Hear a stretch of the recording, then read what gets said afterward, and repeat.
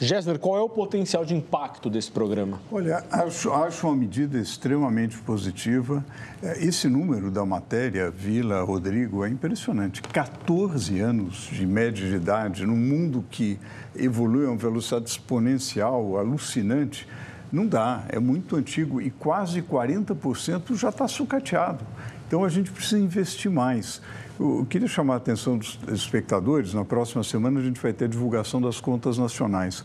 Olhem um componente que é o investimento, que é fundamental para o crescimento, para a geração de emprego, para o aumento da produtividade. Produtividade é essa que se eh, repercute sobre o salário.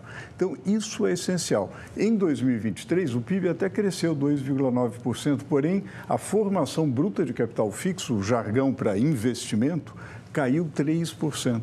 Então, isso precisa mudar, justamente para o país ser mais competitivo, para aquilo que a gente falava no início. A gente precisa aumentar a competitividade, daí a importância do investimento. Eu acho uma medida na direção correta. Agora, Vila, esse é o tipo de benefício tributário que pode trazer resultado no momento que a gente discute, né, revisão de benefícios e etc? Sim, sim. Essa é uma discussão importantíssima, né?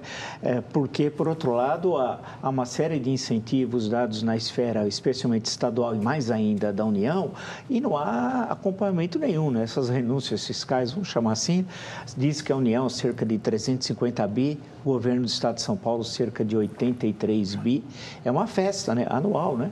Então, isso tem de, tem de mudar. Agora, tem de ter um trabalho de acompanhamento e ver efetivamente aquilo que está ah, sendo efetivamente investido, né? E essa questão levantada pelo GESNER, que é um, nós temos um problema, ah, 2014, 2015, 2016 foi o pior triênio econômico da história republicana.